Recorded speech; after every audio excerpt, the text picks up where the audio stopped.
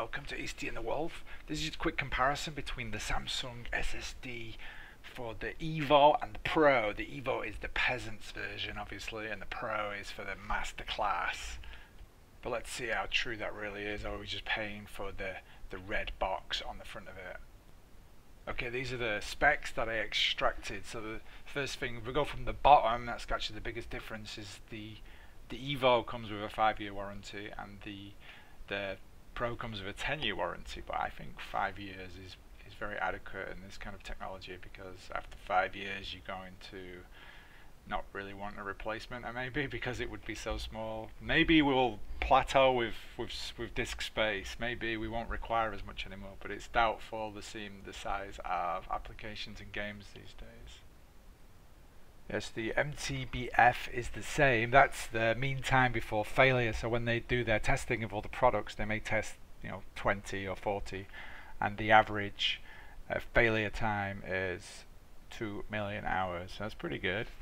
The power usage on the Pro is a little bit more. Maybe it's because it's older. I don't know. I mean, I bought the Pro a year ago, and uh, the they are slightly different hardware, I guess, because one's a 500 gig and one is a 512 gig. But anyway, the Evo uses 3 watts and the Pro uses 3.5. So if you're really watching that power consumption, you know, there's a tiny little difference in there. So now moving up a little bit, the uh, briefly looking at the the specs that I extracted from the PDFs and it's kind of funny that when you look at the PDF for, for one of the products you look at the bottom and it compares all the products now that makes you think the specs above that are all the same and they're actually not if you look on the different PDF pages they all have different, slightly different specs, not that huge. So I'll go from the top here. See, I, I looked at the price today, and you're talking about $80 difference. I, I actually picked this up as a second one, so I have the Pro. I picked the Evo up in with the intention within a couple of weeks when Windows 10 comes out, I'll reformat and I'll I'll install Windows with these guys in RAID 0 because my current setup is two Intel 80 gigs, about four years old I think, in RAID 0 and they've been fantastic performance. So moving on, anyway, you see the price is $80 difference at the moment between the Evo and the Pro, and you really got to question what, what you're going to get for that. I say there is a red square at the bottom if you prefer that over the green square for the Evo. So I, I've compared all these. I got rid of the the different size chip uh, SSDs. So we're just looking at the 500 with the Vice 12 for the Evo over the Pro. So we can see the type, the controller, the technology, which I talk about a lot more about in the previous video. I'll link to that is all the same. The sequential read is very slightly different. I mean, it's 10 meg, but we're talking about out of 550 megs. It's a very small percentage. And again, with the sequential read, there's possibly exactly the same. The uh, the lower numbers, I think, is like the IOPS, so it's the uh, in in and out processes per second. And the, some of the tools I run now, that it will show that. So we'll move on to the first test. So these are the uh, my free drive, so I put the Intel in there just for reference, and uh, the lower two are the uh, Evo and the Pro that we're actually comparing against each other. And I've fast forwarded this. This test takes quite a long time. This is in HD Tune. Now, we get the results at the end of this, the Intel is doing really well on the burst. As you can see, I think that's the RAID 0 in their really old drives. The access time is in between the Evo and the Pro. The Evo does really good on the access time. It's actually half the, I mean, we're talking milliseconds though, or it's a third, sorry, of the of the Pro. And something that's strange is they're all the same CPU usage. You thought it would have got less and less. It seems the Evo has kind of outdone the, the Pro in all the different areas and the raid is quite a bit behind in a lot of the very it's not very consistent. It gets a high maximum but you can see its graph before. It's very jagged so you're not going to get the consistent uh, values. That's stated there that's why the, the minimum's quite low and the maximum's super high. But the burst rate's incredible. I'm really uh, excited to see what these uh, Samsung drives will be like in RAID 0 too and I'll probably make a little video about that so we'll move on to a few different tests because you, never know what these tests are, are, doing in your system and it's nice to have a, a few different uh, software applications to compare with. Okay, this, we're still in HD Tune here, but we're going to do the random access test because that's uh, it's kind of a hard hitter. And you'll see as I as I run this, it just basically does like a, a point analysis all over the place on the spectrum of this of this scale. And I'll place the, the, the results from the top uh, being the Intel, the middle being the Evo, and the lower one being the Pro.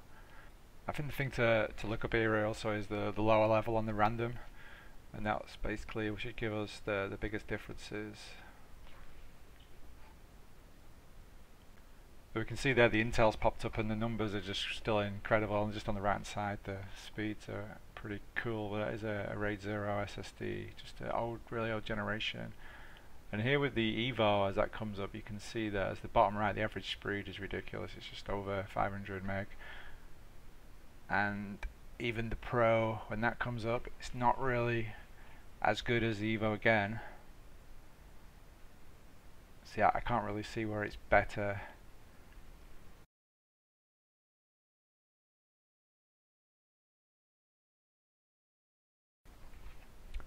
So this is the, the file transfer test in HDTune. So uh, with the Intel, which is my C drive, you can see again it's uh, massively all over the place. Goes up to 800 megabytes per second, but it looks like the mean is kind of around 3, 3 to 400.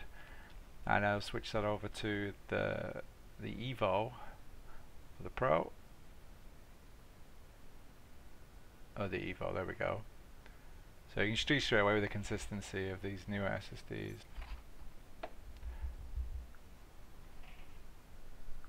So that's a good uh, like 160 meg above the on the read speed for the over the Intel, and we'll see what the difference is for the